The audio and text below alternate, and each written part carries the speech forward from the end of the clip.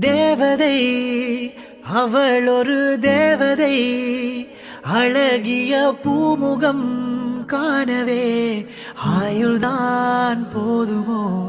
காற்றிலே அவளது வாசனை அவளிடம் யோசனை கேட்டுதான் பூக்களும் பூக்குமோ?